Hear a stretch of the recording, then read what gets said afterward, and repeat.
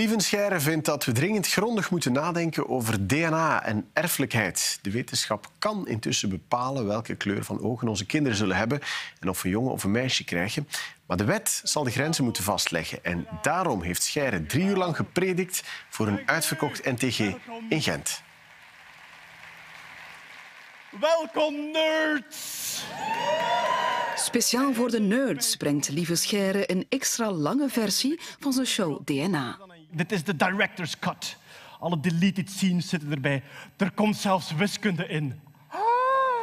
Ik heb mijzelf voorgenomen, ik wil één keer een lange versie doen, waarin ik zoveel mogelijk vertel, met ook de wetenschappelijke techniciteiten en de wiskunde erin enzovoort. En dat is vanavond. Dit is de, de nerd-editie van drie uur lang, eh, ja, eigenlijk wetenschappen. Ja. Dit is meer bepaald mijn vitamine C-gen.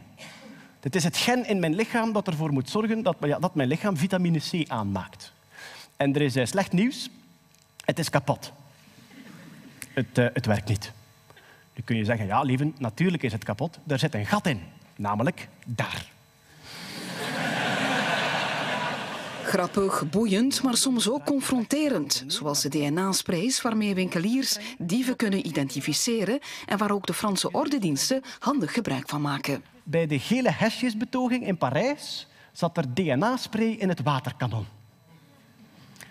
Zodat elke ongehoorzame burger tot drie maand later identificeerbaar was. Franse revolutie, dat is een tijdje geleden natuurlijk. Oké. Ja.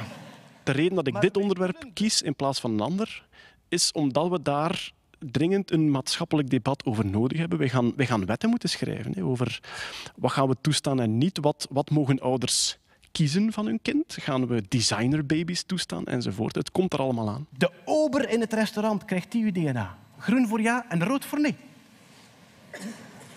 Oeh. Ja, dat is uh, bijzonder rood. Voor wie na drie uur show zijn wetenschapshonger nog niet heeft gestild, is er nu ook het boek met nog veel meer weetjes over DNA. Ja, toch iets om over na te denken. Maakt u er nog een mooie maandag van. Om kwart voor zes en zeven zijn we er weer voor u. Heel graag. Tot ziens.